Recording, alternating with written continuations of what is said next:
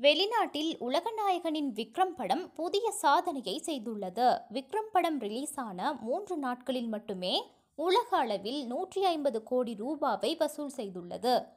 இயக்குனர் லோகேஷ் கனகராஜ் இயக்கத்தில் உலகநாயகன் நடித்த விக்ரம் படம் ஜூன் மூன்றாம் திகதி திரையரங்குகளில் வெளியானது. படம் வெளியான இரண்டே நாட்களில் உலக அளவில் நூறு கோடி ரூபாவை வசூல் செய்திருந்தது. விக்ரம் படம் சென்னையில் மட்டுமே மூன்று நாட்களில் அறுபத்தி ஏழு கோடி ரூபாவையும் கர்நாடகாவில் பத்து கோடி ரூபாவையும் வசூல் செய்துள்ளது.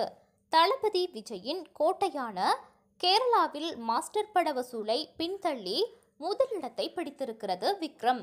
வெறும் மூன்று நாட்களில் கேரளாவில் மட்டுமே பதினைந்து கோடி ரூபாய் வசூலித்துள்ளது. விக்ரம் படம் தமிழகத்தில் ரூபாய் அறுபத்தி ஐந்து கோடி வரை முதல் மூன்று நாட்களிலேயே வசூல் செய்து சாதனை படைத்திருக்கிறது. இதன் மூலம் தமிழகத்தில் அதிகம் வசூல் செய்த கேஜிஎஃப் பாகம் இரண்டு படத்தின் வசூலை இன்னும் சில நாட்களில் முறியடித்து விடும் என்று எதிர்பார்க்கப்படுகிறது. இந்தியாவில் மட்டுமல்லாமல் வெளிநாடுகளிலும் விக்ரம் படத்துக்கு அமோக வரவேற்பு கிடைத்து வருகிறது. கடந்த இரண்டு ஆண்டுகளில் வெளியான தமிழ் படங்களில் அதிக வசூல் செய்த படமாக உலகநாயகனின் விக்ரம் படம் பதிவாகி இருக்கிறது. விக்ரம் படம் ரிலீஸ் ஆன மூன்று நாட்களிலேயே உலக அளவில் நூற்றி ஐம்பது கோடி ரூபாய் வசூல் செய்திருக்கிறது.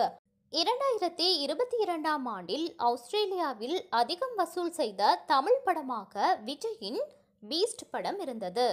இந்த நிலையில் பீஸ்ட் படத்தின் வசூலை உலகநாயகனின் விக்ரம் முந்திவிட்டதாகவும் தகவல் வெளியாகியுள்ளது. மேலும் விக்ரம் படம் ஓடும் திரையரங்குகளில் எல்லாம் கூட்டம் குறையாமல் இருக்கிறது. அதனால் வசூல் வேட்டை தொடரும் என்பதில் சந்தேகமே இல்லை. விக்ரம் படம் வெளியாகி அடுத்தடுத்து புதிய சாதனைகளை படைத்து வரும் நிலையில் உலகநாயகனையும் இயக்குனர் லோகேஷ் கனகராஜையும் ரசிகர்கள் கொண்டாடி வருகின்றனர்.